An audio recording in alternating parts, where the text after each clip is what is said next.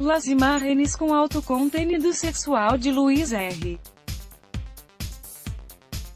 Alves Zag, Monserrat Oliver Y Pati Lopes de Lacerda tienen algo em comum, todas as fotos y vídeos em seus aparatos eletrônicos foram obtenidas, via hackeol, em Rússia. Em México, é o primeiro de estes casos foi el de la conhecida comunicadora de Televisa, Monserrat Oliver, em dezembro do ano passado, quando visitou a Rússia. Las imagens já la surpreenderam e incluso por algumas horas foram trending topic em Twitter antes de que a rede social bajara la informação por ter conteúdo sexual explícito, lo que vai em contra de suas políticas. Lo mesmo le passou a Zag, é o 12 de junho, Y a Patti Lopes uns dias depois, é o 22 de junho, ambos são conductores de TV Azteca. Las imagens de estas três personalidades do entretenimento circularam por las redes sociais em todo o mundo y, claro, estas se viralizaram com força em México. Y esto, la viralização, is justo lo que buscam los hackers rusos pues las cuentas desde donde publicam estas fotos y vídeos ganam dinheiro, y seguidores en la medida em que o material is visto e y retweetado. Agora sabemos que previu ao início do Mundial de Rússia 2018, as agências de inteligência Y contra a espionagem de Estados Unidos Y do Reino Unido alertaram a todos os cidadãos que iam ao Mundial a que foram cuidadosos com seus equipos eletrônicos, celulares, computadoras Y iPads para evitar hacks. Incluso, recomendaram não levar equipos eletrônicos. Por ao lado de Estados Unidos, William Nevanina, diretor do Centro de Contra-Espionagem y Seguridade Nacional, National Counterintelligence and Security Center, alertou que a informação contenida em aparatos eletrônicos, sobretudo a informação personal, seria acessada por el governo russo ou por cibercriminais incluso, recomendou solo levar o mínimo de aparatos eletrônicos, tratar de que foram novos para que não tuvieram informação personal, como fotos ou tarjetas bancárias, ademais de quitar-lhes la pila ou apagá-los quando não estiveram em uso. Por de Reino Unido, é o National Cyber Security Center mandou uma alerta a todos os cidadãos que viajam à Rússia para el Mundial, titulada, evita que te metam um cybergo este verano. Em esta comunicação, disponível em ncsc.gov.uk, também recomendam ações para minimizar risco de hacks. Todo aponta a que os cibercriminais em Rússia excedem a los dados e imagens em dispositivos eletrônicos por dos vias a, infiltrando um vírus como troianos, malware ransomware, a los routers, dispositivos que permitem la conectividade a nível de rede, de hotéis, centros comerciais, y por esta via bajam la informação, y, b, instalando dispositivos para dar internet, que se hacen erram a los reais, em sítios públicos parques, restaurantes, tiendas, hotéis e estádios Y a la hora de que os usuários se conectam a estas redes em busca de cena Wi-Fi. Los piratas informáticos bajam toda a informação de los equipos eletrônicos. Com qualquer de estas duas formas dieron, baje a toda sua informação, incluídas imagens y vídeos, a Montserrat, Zag y outros. Em México, nos hemos desde escandalizados hasta reído y apenado por estas imagens. Mas aliado ao mau rato que revivido las três personas y suas famílias, é o tema que não se deve de ignorar e que, a diferencia de outros países, apoia nenhuma autoridade nem la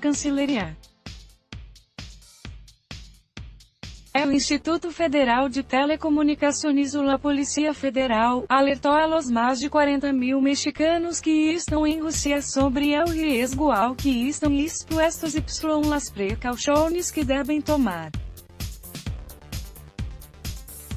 Sirva esta coluna para elo. O que se pode esperar em um país tal que no rei política algo na matéria de ciberseguridade y em donde hasta ao Banco de México, y outros bancos, los hackers le roubam cerca de 800 milhões de pesos y nada mais no pasa nada. Los riesgos del hackeo y y de la ciberdelinquência estão aí. Desde o roubo de milhões via transferências ilegais hasta o roubo de informação, passando por la mercantilização de imagens privadas. Nada é o mundo digital e seguro, por lo que há además de certos cuidados, desde luego se recomenda prudência com lo que uno guarda em seus dispositivos eletrônicos. Cambiando de temas, asterisco recorde histórico em TV, é o ruego de este passado fim de semana entre México e Y Coreia TN é o segundo recorde de audiência, hit, na TV nacional com 21,57 milhões de espectadores, 11.757 milhões em Televisa e Y 9.815 em Azteca, isto em las 28 cidades que mide É o primeiro lugar para o Partido México-Alemanha de ACU nos dias com 21,62 milhões.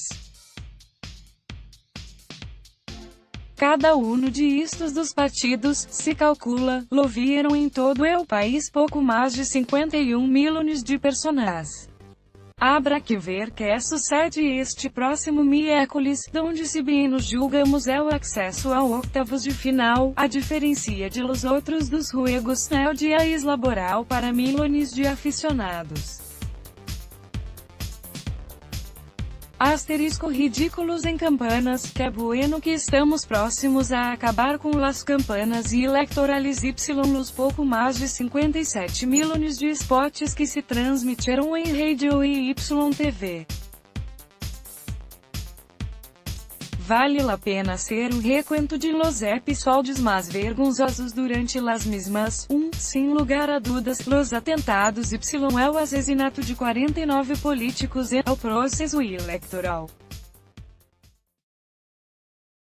2. Los áudios del candidato del PAN la alcaldia de Campeche, Eliseu Fernandes, que deixaram ver sua intenção de usar el cargo como charola para obter recursos, además de outras chuladas em várias gravações, que não são escutas telefônicas.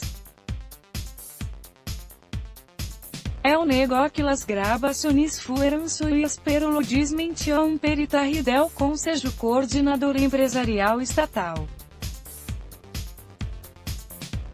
3. Que é o governo federal não levará a tribunalizar o processo contra Emílio Lozoya por Odebrecht. É o ex-procurador Raul Cervantes senaló ao Senado que as investigações estavam concluídas pero a sua salida nadie lo levante um ruas.